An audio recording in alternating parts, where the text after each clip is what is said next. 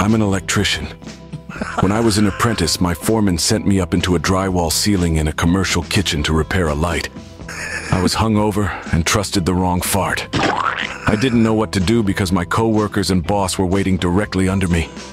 I shimmied my pants down far enough to get my knife and cut my painted boxers away. then I used the clean portion to wipe. Then I cast the soiled undies into the darkness of the ceiling space, fixed the light, and worked the rest of the day commando like nothing happened. Impressive. That is fucking great. Very impressive. That is unbelievable. Just the Quick all, on his feet. All this was happening above, away from everybody. This fucking drama.